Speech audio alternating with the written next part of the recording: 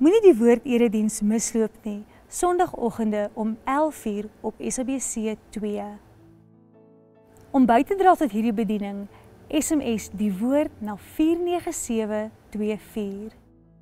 Hallo en baie welkom hierso by ons oordeenking tyd saam waar ons weer 'n bietjie dink en kyk na wat Spreuke ons kan leer in ons alledaagse lewe. Ons kyk vandag in Spreuke 20 vers 3. Dit sê: "Dit is eerbaar om 'n risie te vermy. Enige dwaas kan 'n risie begin." Nou in verhoudings en saam met mense waar ons waarin ons leef, is daar baie keer konflik wat ontstaan, risie wat ontstaan. Mense wat meningsverskille het, mense wat nie saamstem oor goed nie en dit kan baie keer konflik veroorsaak en baie keer begin mense die konflik en en sodoende kan mense baie seer kry in risie. In konfliksituasies, jy weet self, jy het al seer gekry. Ja, jou hart is al al seer gemaak. Jy het al jou skade opgedoen as gevolg van dit. Maar hier kom sê die skrif vir ons, maar 'n wyse mens en dit is beter om eintlik nie betrokke te raak in risie nie en dit nie te begin nie.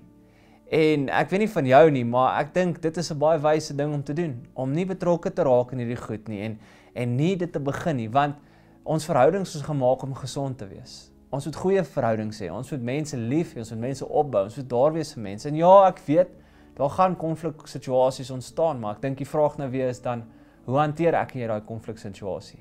As ons lelik met ander mense, breek ons hulle dan af of werk ons tot 'n punt toe om dit te probeer oplos. Nou God nooi ons om goeie en gesonde verhoudings te hê in ons lewens, om die dinge uit te sorteer en op die regte maniere te hanteer. Nie om risie te begin of betrokke te raak sodat ons ander mense kan afbreek nie. En my gebed vandag vir jou is dit presies, dat wanneer jy in 'n konfliksituasie ingaan, dat jy dit op die regte goddelike manier sal hanteer en nie elke keer net sal inspring of iets begin wat onnodig is en ander mense kan seermaak nie. Kom ons bid ook hierdie vandag nou saam. Here, so baie dankie dat U God van wonders en liefde is. En Here, het ons gemaak om goeie gesonde verhoudings te hê. En Here, ek bid nou vir elkeen wat nou luister. Here, vir elkeen wie se hart bedroef is, wat daar dalk krisis en en kwaad is in verhoudings waarmee hulle besig is. Here, bid ek, mag U hulle help dat ons konflik en risie op die regte maniere sal uitsorteer op 'n goddelike manier. Dat ons na 'n punt toe sal werk en dit is dit reg uit so sal sal sorteer en vorentoe beweeg. Ek bid dan natuurlik ook Here dat ons nie 'n wrok in ons hart sal sal koester nie en dat ons nie mense sal afskryf as gevolg van so onnodige goed nie. Here, dankie dat ons U kan ken in hierdie en ek bid vir elkeen. Gee hulle die krag, gee hulle Heilige Gees, Here, dat hulle elke dag in enige situasie die regte ding sal doen en leef. En ons bid dit in Jesus naam vandag. Amen en amen. So baie dankie dat jy hier was vandag.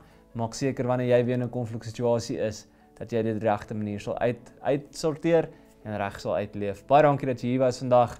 Lekker dag, goed gaan.